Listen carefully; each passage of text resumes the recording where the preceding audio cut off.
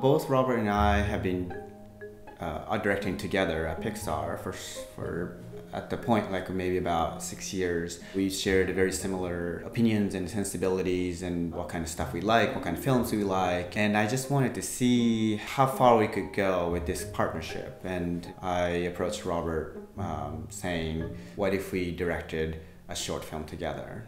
Dice had made a an animated short film on his own for uh, a project he had done called Sketch Travel, and it was pretty magnificent. Um, so I was up for the challenge. I think at that point it really was like, how do we convince our loved ones that we should take three months off and go and make a film?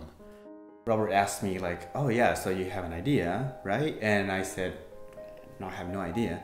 We had never written a story together, so we were learning as we went, and it took us a while to really find a way to do it together."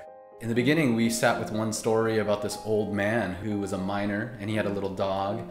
And from there, we wrote five more versions of that story, kind of evolving into another story, into another story, eventually arriving at the Dam Keeper. Those characters began to become real to us, and we just knew at that point that that was the film we wanted to make. We had certain ideas about what creating something like this was going to be like.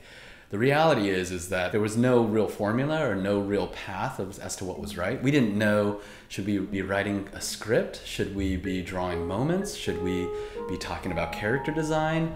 The moment that really things started to become clear that it was becoming a film was actually when we worked with our editor.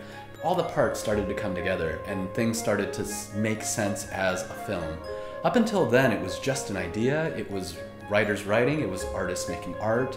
But all these parts almost lived independent, and all that was connecting these things was a general ambition to create this feeling. And so, really, I think bringing other individuals in that actually knew what filmmaking was supposed to be helped us to kind of understand where we should be in our role in that um, filmmaking process.